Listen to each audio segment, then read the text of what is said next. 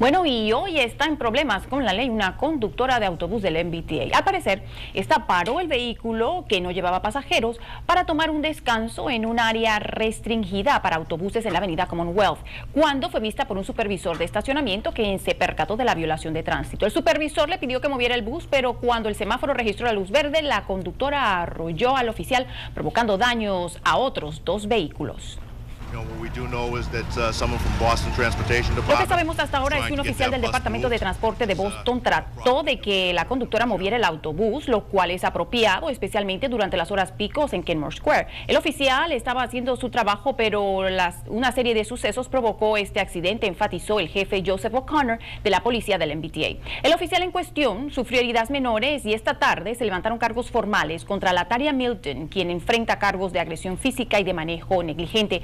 Será sometida a pruebas de alcohol y drogas como dicta el protocolo y se espera que comparezca en corte el día de mañana.